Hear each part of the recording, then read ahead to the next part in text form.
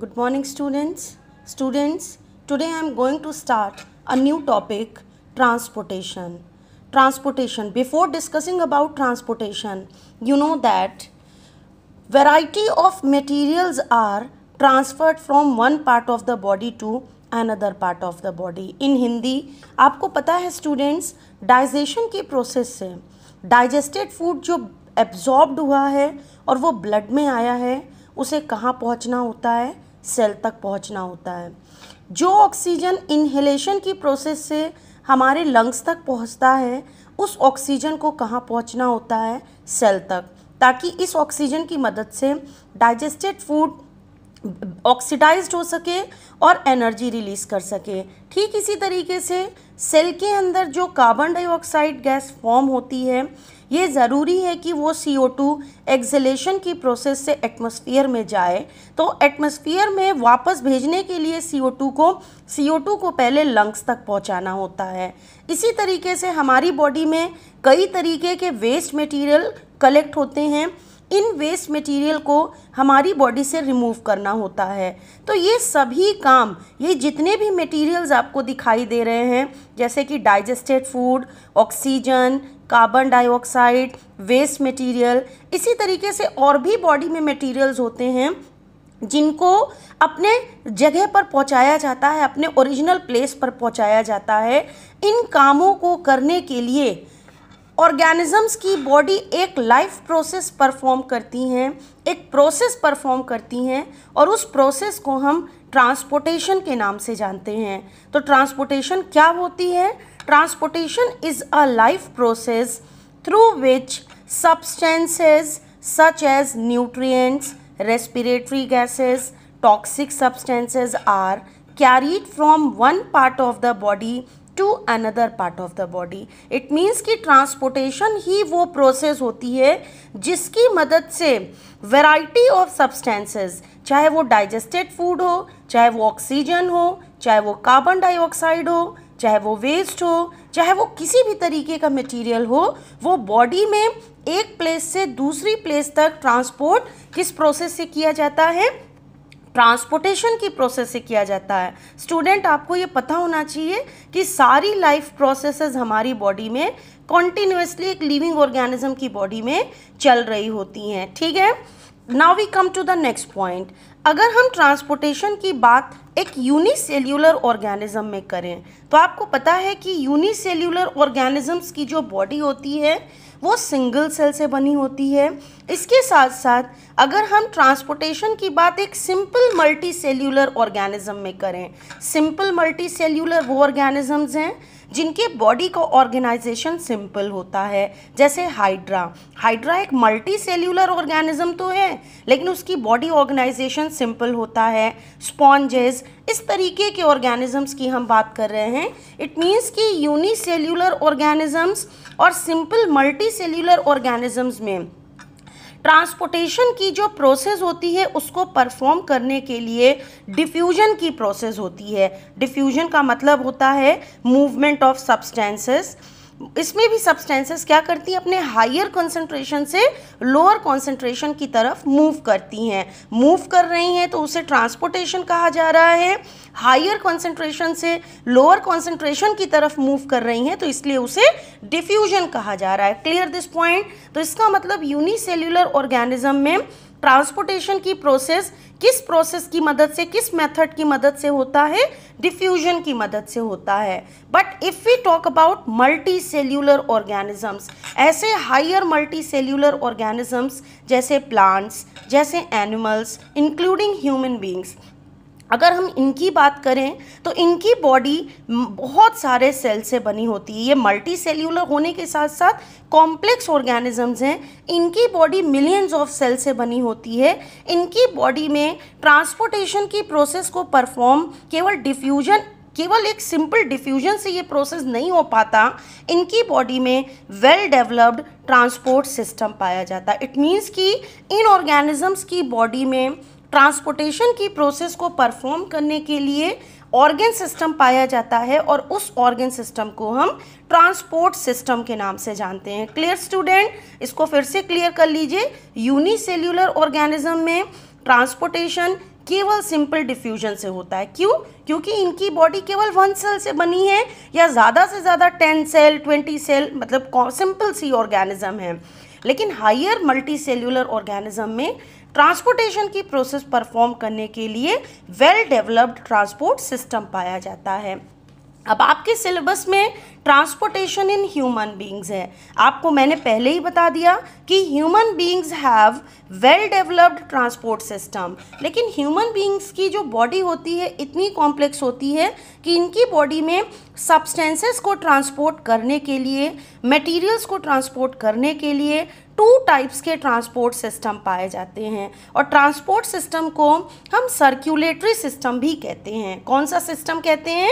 Circulatory system. There are two types of transport system in higher animals including human beings one is the blood vascular system another one is lymphatic system पहला transport system, जिसे हम blood vascular system कहते हैं, और दूसरा transport system, जिसे हम lymphatic system कहते हैं। ब्लड वेस्क्यूलर सिस्टम में कौन कौन सी चीज़ें आती हैं, जो कि इस सिस्टम को बनाती हैं?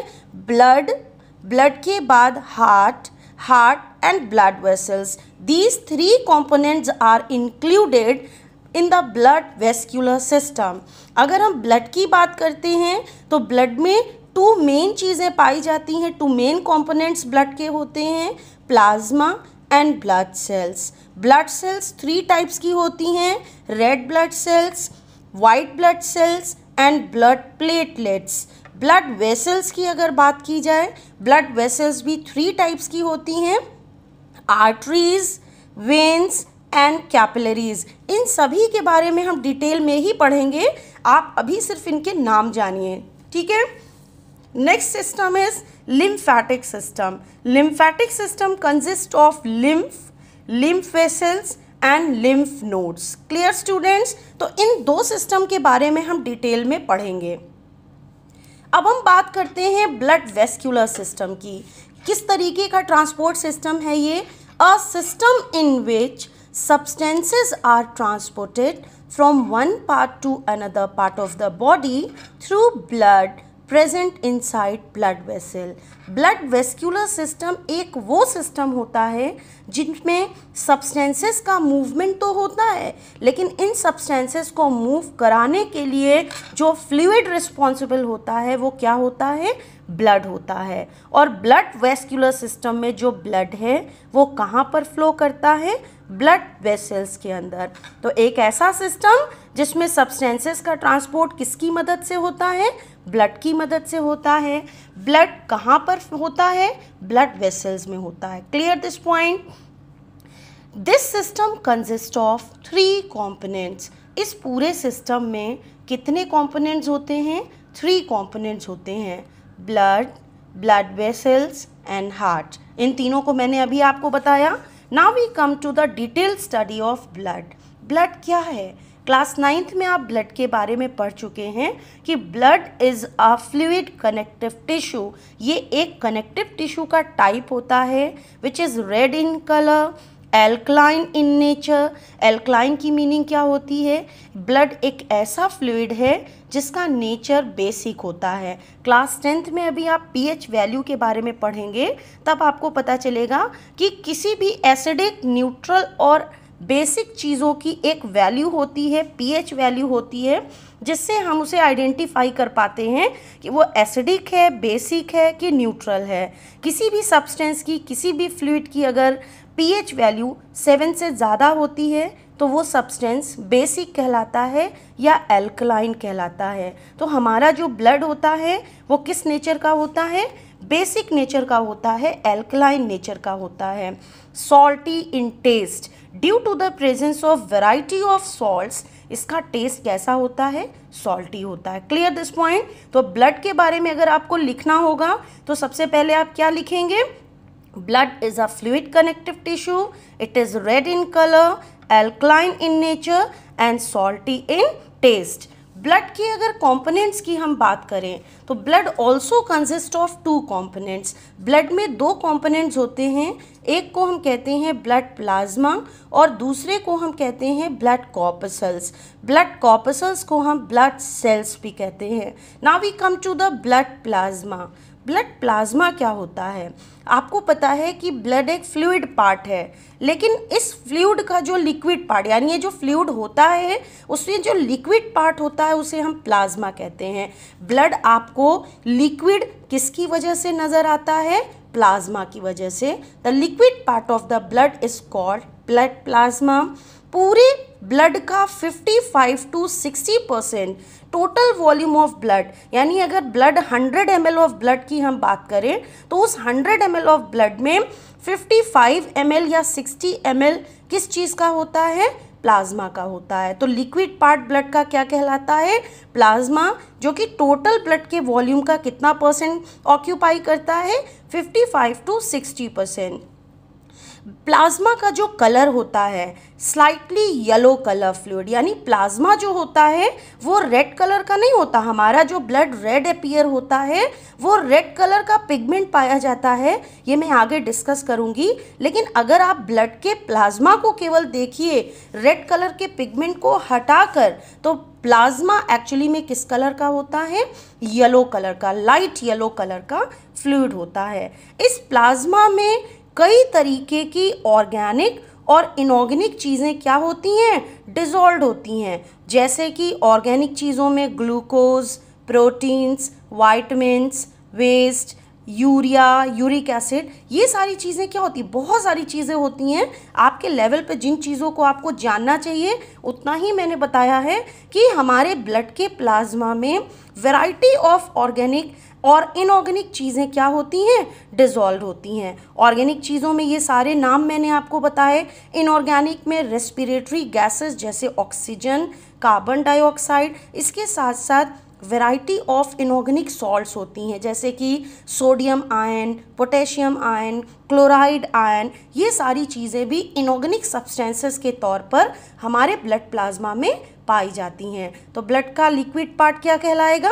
Blood plasma clear this point अब हम आते हैं ब्लड के सेकेंड कॉम्पोनेंट पर, जिसे हम कहते हैं blood corpuscles blood corpuscles are also called as blood cells there are three types of blood cells red blood cells white blood cells और नेक्स्ट पेज पे हम पढ़ेंगे blood platelets red blood cells को हम इरिथ्रोसाइट्स भी कहते हैं। It means red blood cells are also called as erythrocytes red blood cells are red coloured cells due to the presence of red pigment haemoglobin red blood cells जो होती हैं, वो किस कलर की अपियर होती हैं? रेड कलर की appear होती हैं किस वजह से? क्योंकि रेड ब्लड सेल्स में रेड कलर का एक पिगमेंट पाया जाता है, जिसे हम हीमोग्लोबिन कहते हैं।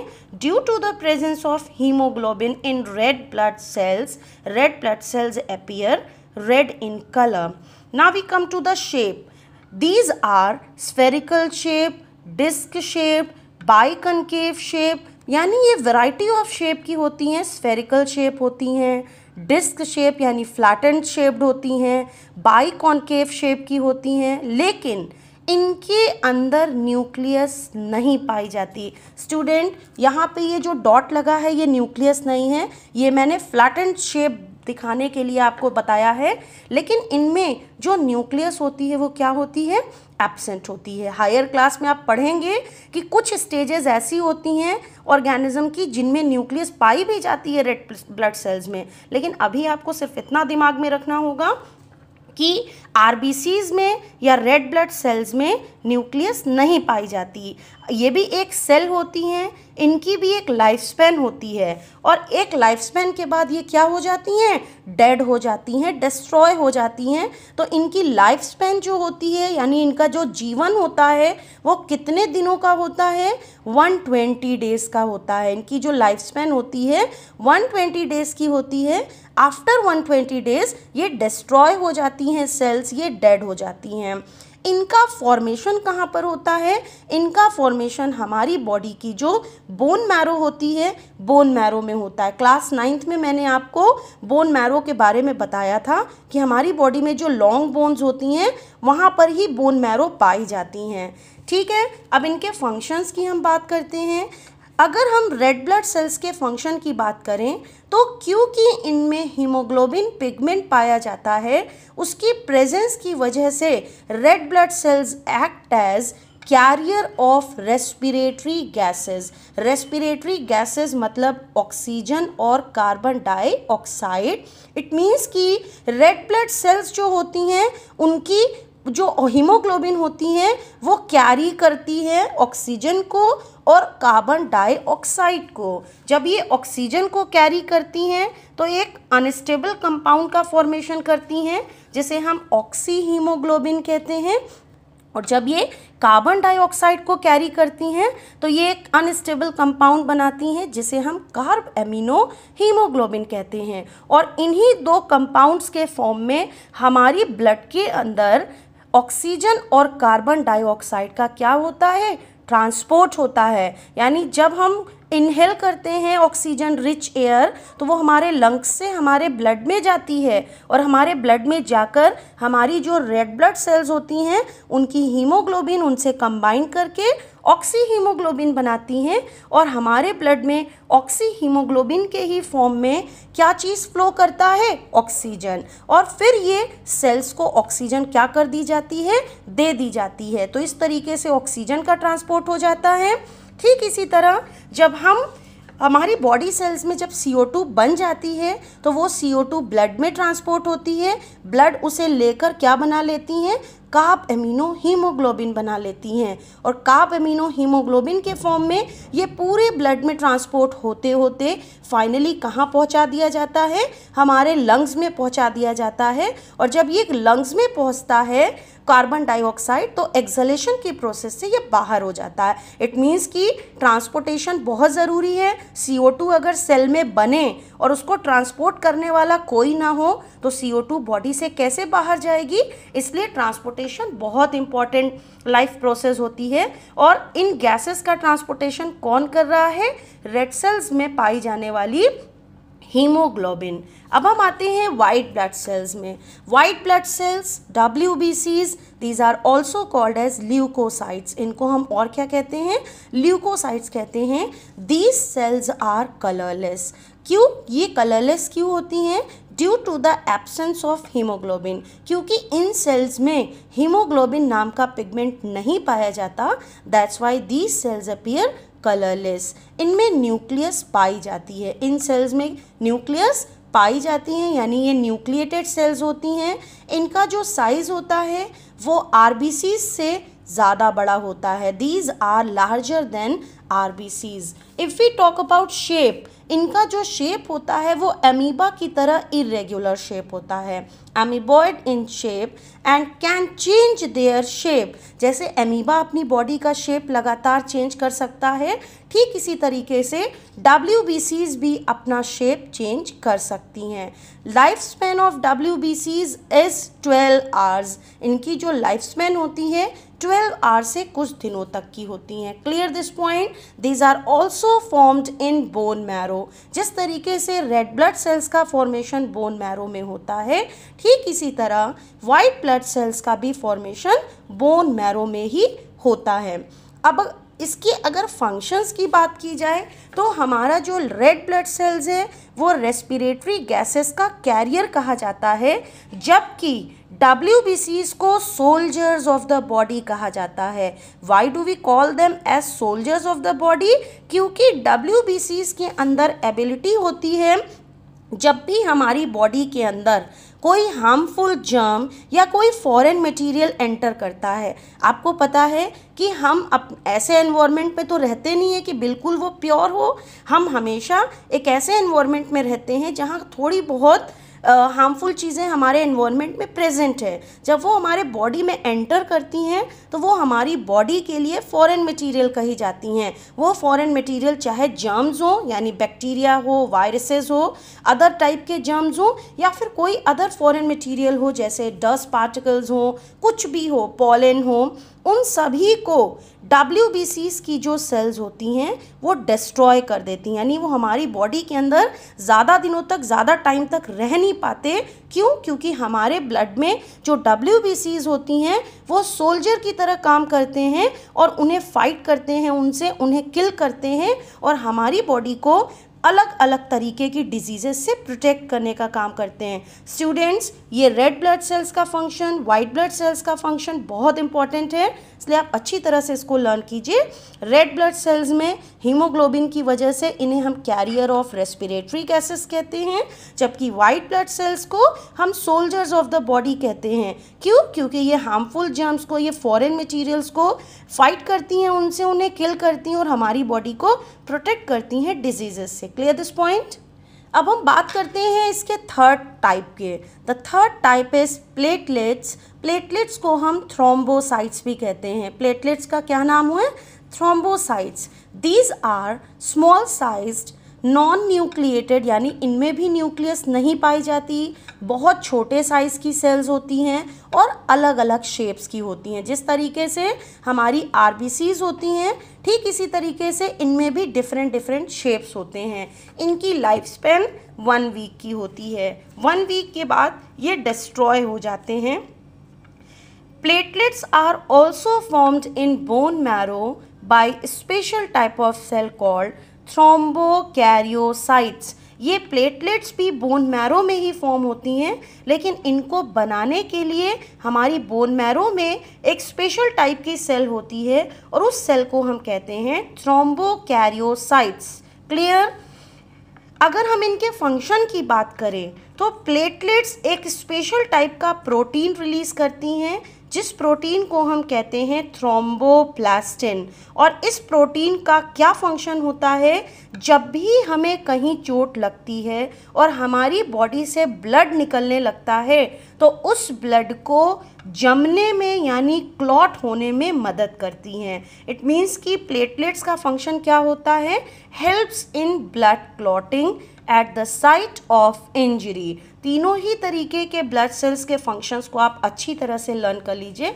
इट इज़ वेरी इंपॉर्टेंट अब हम आते हैं ब्लड के फ़ंक्शंस पर कि ओवरऑल हमारा ब्लड क्या क्या काम करता है। अब आप ये तो समझ ही चुके हैं कि ब्लड का मेन काम होता है चीज़ों का ट्रांसपोर्ट करना। तो सबसे पहले यहाँ पर हम ट्रांसपोर्ट किन किन चीज़ों को करता है, इसके फ़ंक्शंस को नोट डाउन करते हैं।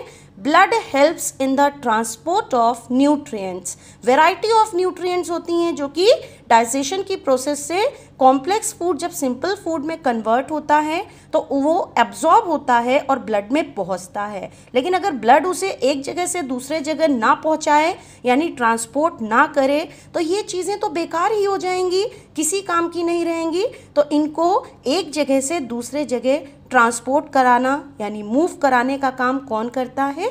ब्लड करता है। Second point it helps to transport oxygen and carbon dioxide gases oxygen और carbon dioxide gases respiratory gases कही जाती हैं स्टूडेंट्स और इनको अपनी अपनी प्लेसेस से ले जाने का काम मूव कराने का काम, यानी ट्रांसपोर्ट करने का काम कौन करता है?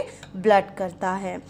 Helps to regulate body temperature बहुत ही इंपॉर्टेंट फ़ंक्शन है। आपको पता है कि हमारी बॉडी एक पर्टिकुलर स्पेसिफिक टेम्परेचर पर ही सही ढंग से काम करती है। अगर हमारी बॉडी का टेम्परेचर कम हो जाए या हमारी बॉडी का टेम्परेचर ज़्यादा हो जाए तो हमारी बॉडी का जो फ़ंक्शन होता है, जो हमारी बॉडी में एक्टिविटीज़ चलती हैं, वो अफेक्टेड होंगी स्टूडेंट्स इसलिए हमारे ब्लड का जो काम होता है, वो होता है हमारे बॉडी के टेम्परेचर को रेगुलेट करना। किस तरीके से रेगुलेट करती हैं? हमारी बॉडी में बहुत सारी एक्टिविटीज़ चलती रहती हैं, कई सारे मेटाबॉलिक रिएक्शंस चलते रहते हैं और उनसे जो हीट रिलीज़ होती है, उस हीट को हमारा जो ब्लड होता है, वो ट्रांसपोर्टेशन की मदद से यूनिफॉर्मली डिस्ट्रीब्यूट कर देता है। यानी अगर हीट किसी एक जगह पर डिपॉजिट हो जाए, एक तरीके से इकट्ठी हो जाए तो वो बॉडी के टेम्परेचर को क्या कर देगा? बढ़ा देगा। लेकिन अगर इस टेम्परेचर को, इस हीट को कई टुकड़ों में बांट दिया जाए, यानी फैला दिया जाए तो हमारे बॉडी का टेम्परेचर रेगुलेट होगा कि नहीं होगा? वो एक जगह पर इकट्ठा नहीं होगा। इस तरीके से उसको रेगुलेट करने में कौन मदद करता है? ब्लड करता है। क्यों? क्योंकि ब्लड उस हीट को यूनिफॉर्मली पूरी बॉडी में डिस्ट्रीब्यूट कर देता है। Next helps to protect our body from diseases by killing germs ये काम किसका है? हमारे ब्लड में पाए जाने वाले डब्ल्यू का है, क्योंकि डब्ल्यू ब्लड में पाई जाती हैं, इसलिए इस पर्टिकुलर पॉइंट को आप ब्लड के फ़ंक्शंस में लिख सकते हैं। It helps to maintain pH of body आपको मैंने कहा आप केमिस्ट्री में पीएच वैल्यू के बारे में भी पढ़ेंगे। स्टूडेंट्स, आपको पता होना चाहिए कि हमारी बॉडी के जो भी, जितने भी फ़ंक्शंस होते हैं, एक स्पेसिफिक पीएच में होती है। अगर हमारे बॉडी का पीएच हमारे ब्लड का पीएच चेंज हो जाता है तो हमारी बॉडी कई तरीके की डिजीजेस से सफ़र करने लगती हैं। तो हमारे बॉडी के पीएच को, हमारे ब्लड के पीएच को मेंटेन कौन रखता है? खुद ब्लड ही हमारे बॉडी के पीएच को क्या करता है? मेंटेन करने का काम करता है। ऐसी वो चीज़ें जो कि हमारे ब्लड के पीएच को बढ़ा देती हैं, उनको भी ये एलिमिनेट कर देता है और हर वो चीज़ जो हमारे ब्लड के पीएच को घटा देती हैं, उनको भी हमारा ब्लड रिमूव कर देता है। ब्लड कैसे रिमूव करेगा? ट्रांसपोर्ट करेगा, जहाँ से भी उस उस पर्टिकुलर चीज़ को बाहर करना है, वहाँ तक पहुँचा के उसको रिमूव करा देगा। तो इस तरीके से हमारे बॉडी के पीएच को कौन मेंटेन करने में मदद करता है? ब्लड आई थिंक कि मुझे, ये लग रहा है कि आपको ये चीज़ समझ में आ गई होगी, काफ़ी इंटरेस्टिंग टॉपिक है। नेक्स्ट वीडियो में हम लोग हार्ट के बारे में ब्लड वेसल्स के बारे में पढ़ेंगे। Thank you students